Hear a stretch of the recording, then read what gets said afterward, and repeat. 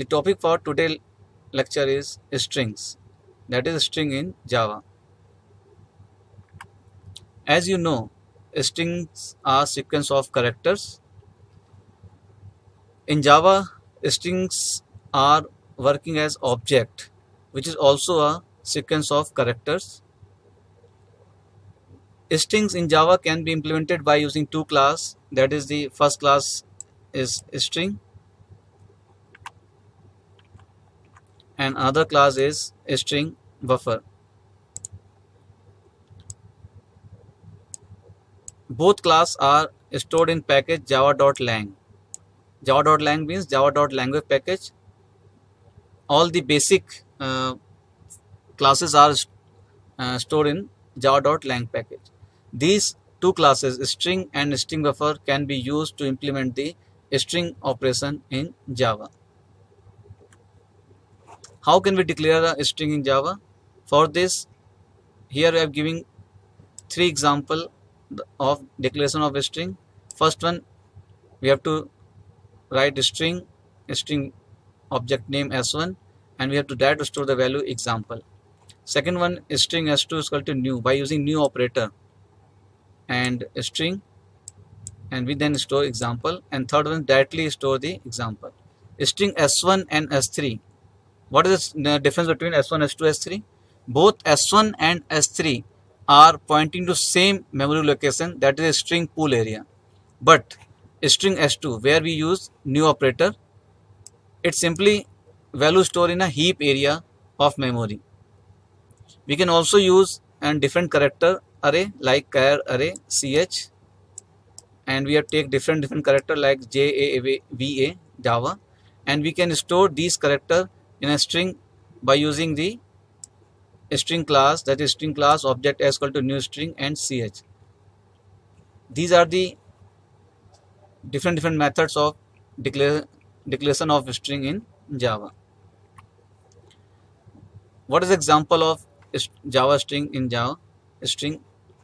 Simply here we first we take first object x1 and we store java second one similarly we have used character array and we have used strings. And we store this character of array in directly in string by using new string ch. And third one we directly store a string by using the new operator. And we can directly print the value of s1 s2 s3 these all the these three method can be used for declaration of string in java. And simply we print the value of s1 s2 s3 and we will get the output s1 is equal to java s2 strings and s3 example.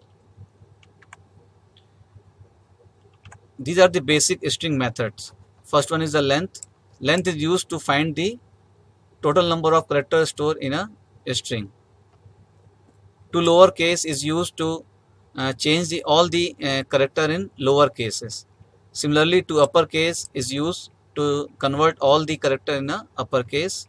We, go, we can also use replace method where we can replace all the uh, uh sequences of old character with the new character Next concate which is used to concatenation of strings. Then char at index it is used to find the particular character at given index.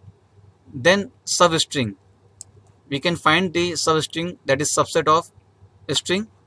There are the two methods for finding substring. First one is int begin index. Here we have to give in we have to give the only first index value and we can find the string uh, substring from that index value to the end of the string. But if you want to find the uh, substring from uh, one point of index to another point of index for this we have to use in begin index and in index.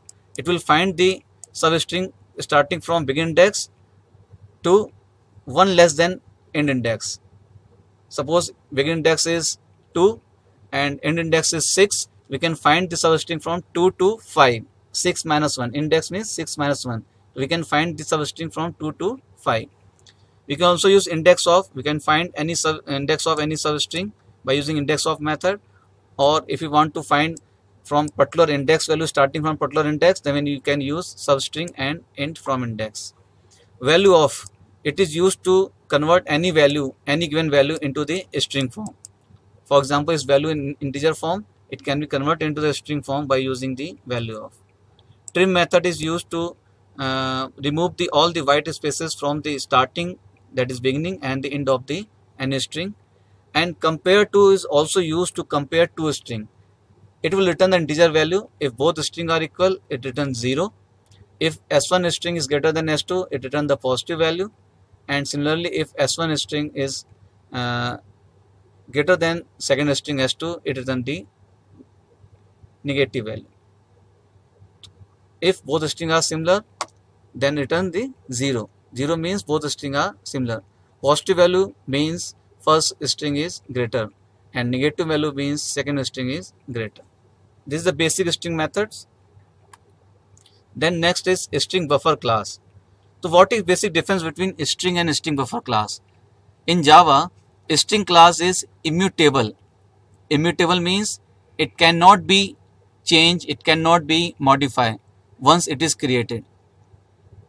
But if you want to append or uh, amendment in string then we have to use string buffer class.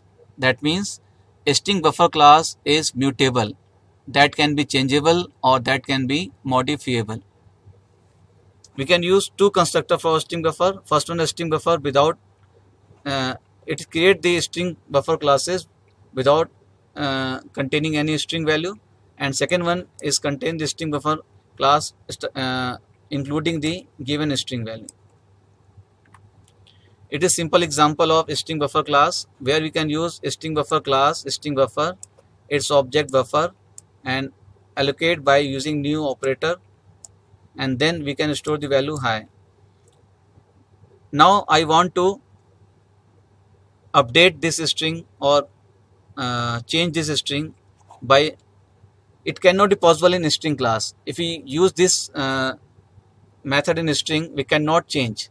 We have to create another new instance for storing the another object another value. But in string buffer we can easily append by using the append method and object dot method append and by and we have to print buffer. Here the output will come high and by by is append after the high so this is possible in string buffer class. This is basic string buffer method. First one we can append. Any value any string can be append in the previous value stored in a string buffer. We can also insert any particular value any string value any string given the particular offset. We can replace also. We have to give the value start index end index and what is string we have to replace. We can also delete value stored in string buffer by giving the starting value index value and the last index value we can reverse the value stored in string buffer by using reverse method here capacity capacity will give the total number of character that can be stored in a string buffer class and length give the actual number of characters stored in string buffer class. We will discuss these two in uh, next slide. Char at it is used similarly used to find any character in given index. Similarly, we can find substring as we find the string class. Same work performed also in string buffer class we can find the substring. Majority of the student uh, are confused with the length and capacity. Both are different in string buffer. For example, we have to uh, declare and initialize the string buffer where string buffer class is used object buff and new string buffer and give the value 25 here 25 is the capacity of the string buffer. That means 25 character can be stored in a string buffer class. The default value of string buffer is uh, capacity of string buffer is 16 after appending the value 13 character these 13 character are stored in string buffer now it will give the length of uh, string buffer is 13 but capacity is 25 that means 13 is the actual number of character that are stored in string buffer this is known as the length of string buffer and 25 is total number of character that can be stored in string buffer object. This is basic difference between length and capacity.